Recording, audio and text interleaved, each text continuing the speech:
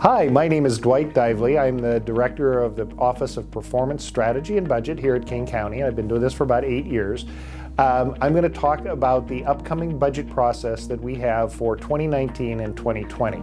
As most of you know, the county uses a biennial or a two-year budget process.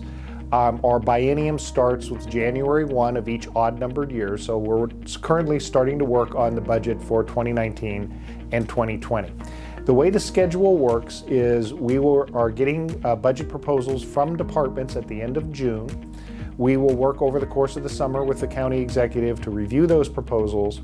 He will submit his proposed budget to the county council on September 24th, and the county council will adopt a budget sometime in mid-November that will go into effect in January. Uh, what the budget provides is funding for a variety of efforts that we do around the county. The current biennial budget is a little over $11 billion, and we have about 14,000 employees in King County. My expectation is as we put together the 2019-2020 budget that we'll actually see that budget grow somewhat. Uh, and we'll have uh, areas where we've added staff and added services in order to serve our public. One of the things that is not understood much about our budget is that because largely of state laws, our funding is constrained into particular areas. So we really have about 100 budgets, each with their own revenues and expenditures, and we don't have the ability to move money around how the elected officials would like to do. So for example, if we have money in our parks levy, we can't move that to pay for human services. So putting together this budget is actually a very complex endeavor. We have a couple of funds that have significant financial challenges as we get into 2019 and 2020. The first of these is our general fund. The general fund is the county fund that provides traditional services of county governments in Washington state, mostly things in the criminal justice system such as the jail, the prosecutor's office, public defense, the courts, and the sheriff. We are also responsible for paying for election costs, for assessment of property, and for some things in public health and human services. The general fund has been limited for almost two decades now because of legal restrictions on its largest revenue source, which is the property tax.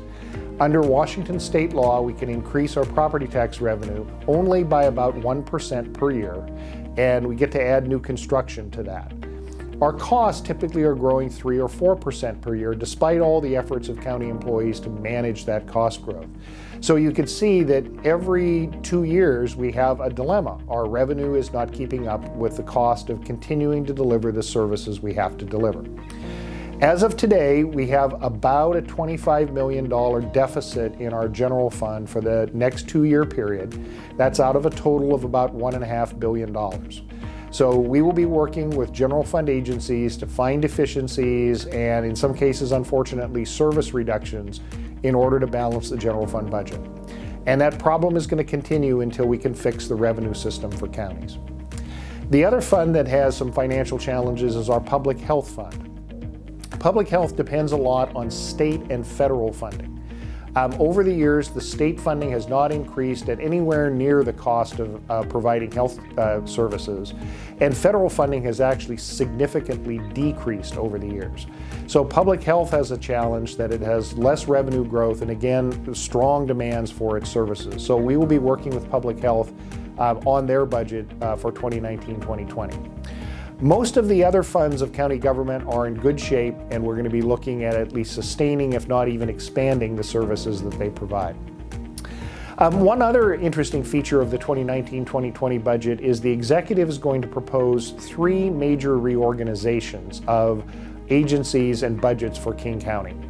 The first is the county executive has decided that Metro Transit needs to be its own department. Uh, Metro Transit is by far our largest function. It also serves the largest number of our residents, and the executive believes it needs to be a departmental level organization. As part of that department, we're also going to be moving the Marine Division out of the Department of Transportation and combining it with Metro Transit. The second departmental change is to create a new Department of Local Services, which will provide services to the residents of what we call the unincorporated area or the area outside of cities. Uh, this will combine the Road Services Division from the Department of Transportation and the Department of Permitting and Environmental Review.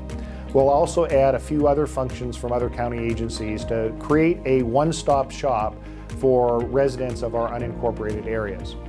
As part of that transition, we'll take two divisions out of the existing Department of Transportation, the airport and the Fleet Services Division, and move those to the Department of Executive Services. The third organizational change is to create a new Human Resources Department by elevating the existing Human Resources Division out of the Department of Executive Services and making it its own department. The county executive believes that human resources is a critical function across the entire government and deserves to be a cabinet level department.